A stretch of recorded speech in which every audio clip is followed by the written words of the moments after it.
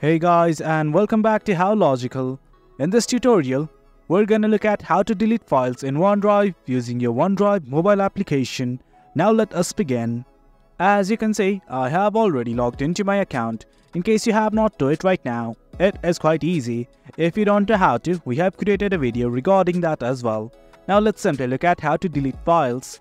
Right now, let's simply say I want to delete multiple files. Simply click and hold on any one file that you wish to delete.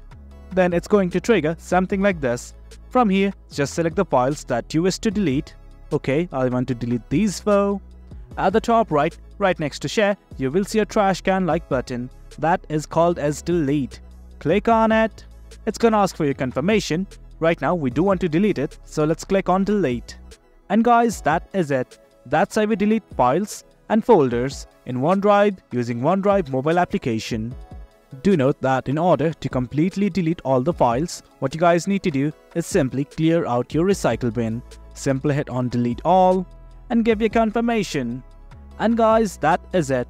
That's how we delete files in OneDrive. Hope you guys found this video informative and for more content like this do remember to hit like, share and subscribe. Your support fuels us. Until next time, thank you.